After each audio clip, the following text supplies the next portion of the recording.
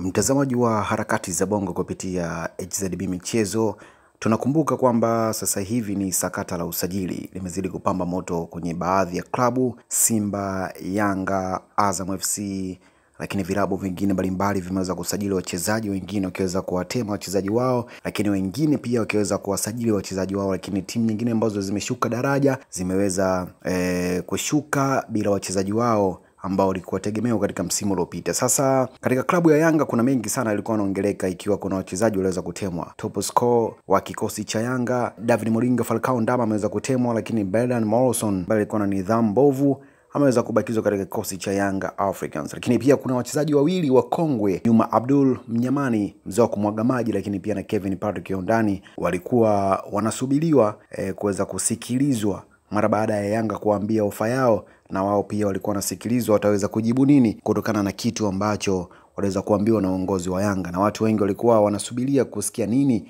ambacho kitatokea kati ya Yanga na Kevin Ondani mkongwe, lakini pia na Juma Abdul Mnyamani. Sasa leo rasmi uongozi wa mabingwa wa kihistoria nchini unatangaza rasmi kuachana na wachezaji wake nyota Kevin Ondani na Juma Abdul mara baada ya kushindwa kufikia makubaliano na kikosi hicho au timu hiyo ya Young Africans, na taarifa zimetoka sasa hivi uh, Yanga rasmi sasa wameachana na Kevin Undani pamoja na Juma Abdul mzee wa kumwaga maji, na hii ikiwa eh, kwa mashabiki wa Yanga watakuwa wamelipokea vibaya wakiwa na upendo wa wachezaji wao, lakini pia tunaangalia kwamba Mrisho Alfan Ngasa Kevin Patrick Ondani pamoja na Juma Abdul Mnyamani, hawa wote ni wakongwe katika kikosi hichi, wameweza kuachana na klabu yao ya Yanga Africans. Usisahau kusubscribe YouTube channel Harakati za Bongo kupata info zote za michezo. Jina langu naitwa Manindimbo, kulikipa bonge zaidi Tanzania nzima. Usisahau kusubscribe, lakini pia tutakupa info zote za michezo, lakini pia taarifa zote za usajili ambazo zimejiri katika